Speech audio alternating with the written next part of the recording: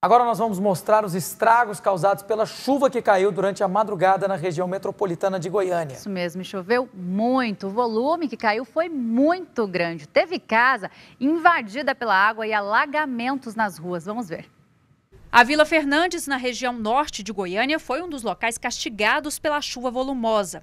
Equipes da Defesa Civil passaram o dia avaliando o risco das casas às margens do Ribeirão Anicuns. Não sou informado, através da meteorologia, que é, a previsão de 10 milímetros que iria chover nessa, nessa, nessa região aqui, nesse local.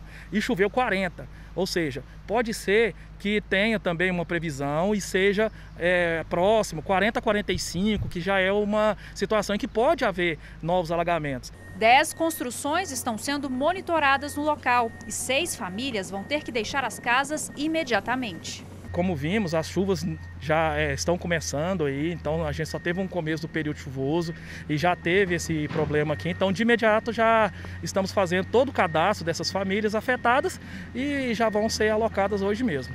Na região norte da capital, a chuva começou por volta das 3 horas da manhã. Invadiu casas e deixou um rastro de transtornos.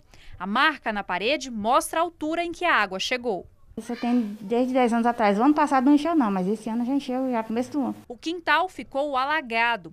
Dentro da casa, alguns cômodos já foram limpos, mas o banheiro e este quarto, onde parte dos móveis foram colocados, mostram a destruição causada pela chuva, que só parou por volta das 6 horas da manhã. Não dá, dá para dormir, né? Porque você tem que salvar os animais, tem que salvar as crianças, tem que salvar os poucos coisas que a gente tem. Então não dá mais para dormir. Aí quando é amanhece o dia, a gente tem que limpar essa bagunça. No setor Gentil Meireles, o volume de chuva também tirou o sossego dos moradores. Esse vídeo mostra até onde a água subiu. Ah, Rogério, entrando na casa do senhor, a água.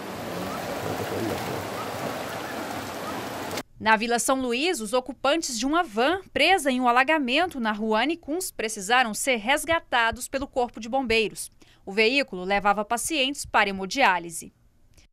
Por meio de nota, a Secretaria Municipal de Infraestrutura e Serviços Públicos, CEINFRA, informou que fez a limpeza da ponte sobre o Ribeirão Anicuns e das bocas de lobo da Vila São Luís na semana passada e já programou para voltar ao bairro amanhã. Já a AMA informou também por nota que há no setor algumas edificações que estão dentro de uma área de preservação permanente, que fica às margens do Ribeirão Anicuns. Esse ribeirão, em épocas de chuva forte, oferece risco de vida aos moradores, como ocorre agora. A AMA diz ainda que já solicitou a retirada dos invasores também pelo fato de que tal área, posteriormente, fará parte da extensão do programa urbano Macambira Anicuns.